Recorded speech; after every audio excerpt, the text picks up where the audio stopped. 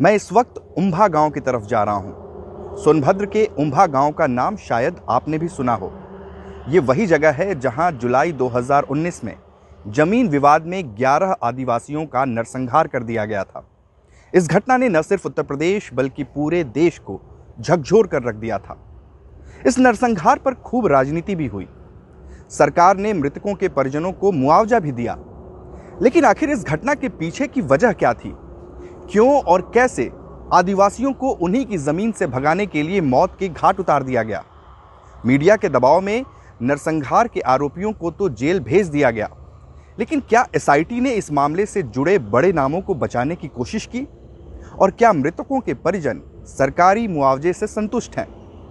जल्द देखिए क्विंट हिंदी की ये ग्राउंड रिपोर्ट, जिसमें हम इन्हीं सवालों के जवाब तलाशेंगे।